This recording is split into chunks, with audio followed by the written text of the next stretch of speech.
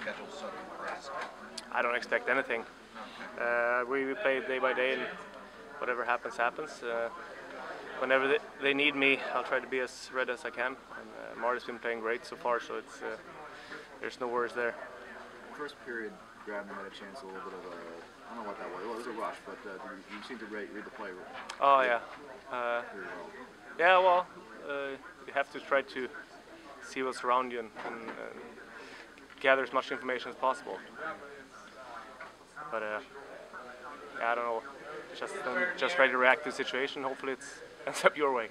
With that Grabner breakaway in the third, were you just trying to react to all that, or were you trying to force him to do one thing or the other? No, I just tried to read off him. Uh, I, I see him do a couple of other things. I haven't seen that, so um, it was a quick, re- quick thing, and I just tried to react. Well, you don't, you don't think too much. It's just Saying that you had seen him go backhand in those types of situations, and when he goes to his forehand there, was there any surprise there, or were you kind of leaning backhand a little bit?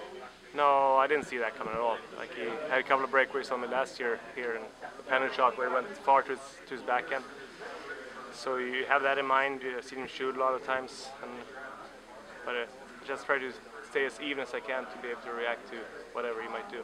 Were you watching tape of him today or yesterday or No, no, I, I watch all the highlights, but uh, I try to have a kind of mental book on as many guys as possible and see what, what I can remember. And you have to know when he's out there because he's, he is a game changer with his speed and is, he's not afraid to sniff around on those chances. So You had a, a few more saves on Tavares as well. I think one where you kind of cut off the angle there when he's a little in front. Yeah, well, I can't remember really, but uh, They all kind of go into one.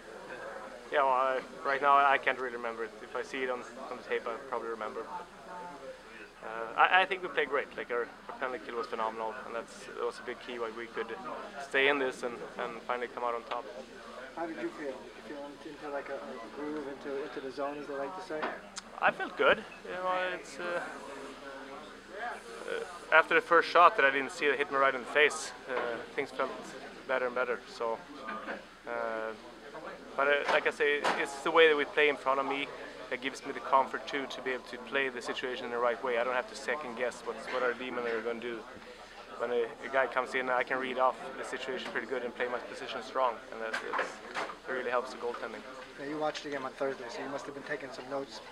And then yesterday, the debacle they had yesterday, and then coming out playing better today.